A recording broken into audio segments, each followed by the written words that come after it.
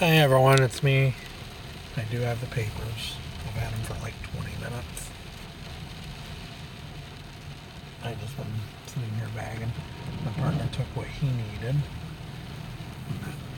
The idiot that's sitting back there is one of the other drivers.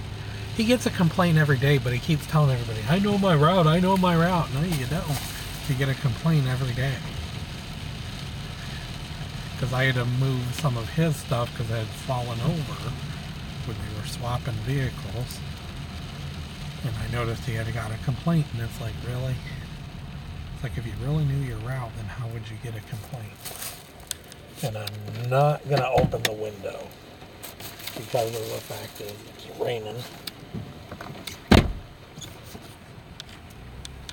But I'm going to stop it right here. Please like, please subscribe, and I'll talk to you guys soon. Have a good day. Bye.